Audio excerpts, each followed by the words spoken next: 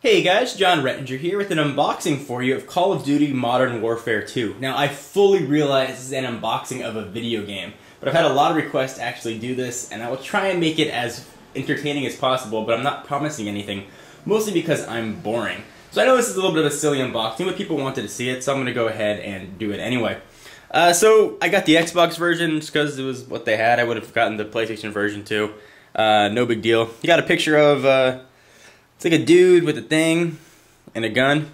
On the front, on the back, we got more pictures of dudes with things and uh, some gameplay. And of course, that's rated M. So if you're 17 or under, uh, hire somebody over 18. All right, so we'll use the, of course, the uh, big ass knife to dig into the box here, and we will uh, see what we get.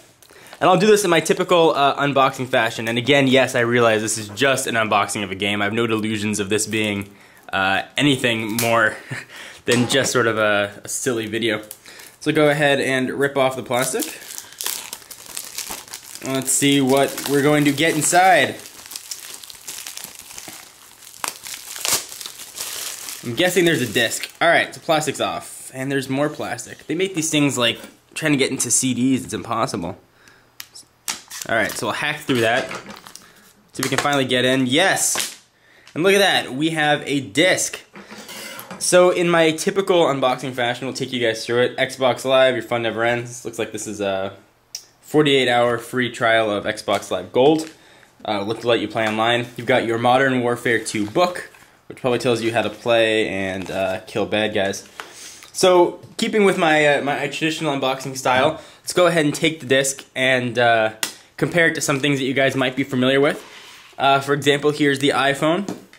You guys can see that it's, uh, it's a little bit fatter, um, but it's definitely skinnier. It's much smaller. I mean, I wouldn't necessarily put this in the pocket because it's so big, um, but you know, its thinness maybe you could uh, you could be able to. Uh, you might also be familiar with um, another product, Halo Wars. We'll do a size comparison here. They do look to be almost the same size. We'll stack them.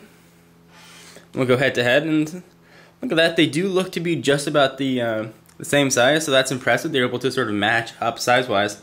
Um, and here we have uh, Call of Duty Modern Warfare 2, guys.